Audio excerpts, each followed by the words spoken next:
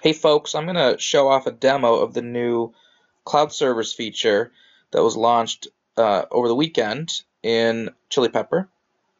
And uh, you can see there's a TinyG V8 and a TinyG V9 uh, available now in the cloud. Those are real TinyGs uh, exposed to the internet through the serial port JSON server.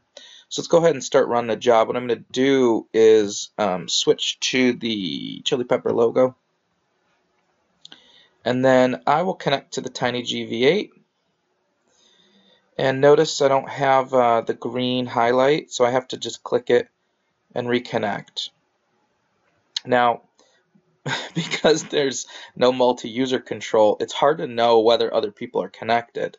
But if I try to jog around, I notice that things are sort of stalled. You can see that it's the buffer is increasing, but I'm going to go ahead and try and reset it and jog around some more and you can still see it's stalled. So in that case, there's a new feature that was added which restarts the serial port JSON server. I'm going to go ahead and restart it. Now that's about a five second delay on the restart just to give it some clear up time. That feels like five. I should be able to reconnect.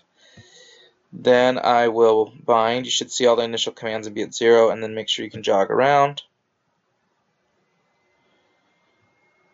And it looks like it can, it looks like other people are jogging.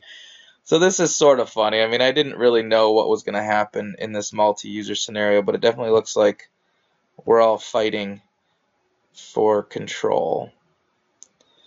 Uh, let's just see what happens. And, and, it's funny too because I'm in inch mode even though this file's in millimeter. So let's switch to millimeter. We'll go to zero.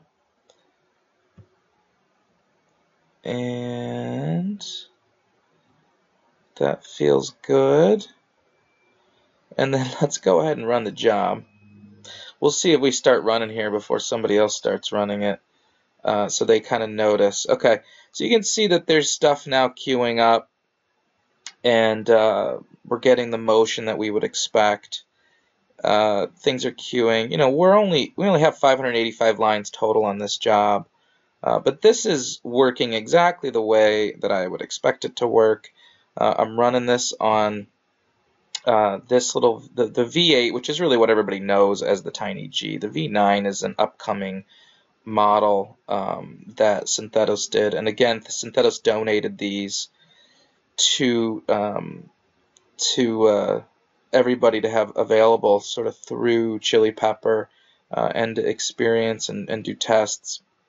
So I would say this is kind of a first for the CNC industry to have these devices available in the cloud. So you know, kudos to Synthetos for making these available, and then uh, we'll we'll see how it goes because I'm already noticing after this only being out there for a few hours that um, it's pretty hard to gauge who's trying to use it. But either way, uh, that that's those are surmountable problems. Uh, I think it's pretty cool that I can run this job now from the cloud, and and so can you guys.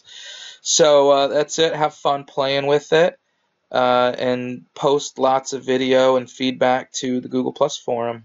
All right, thanks.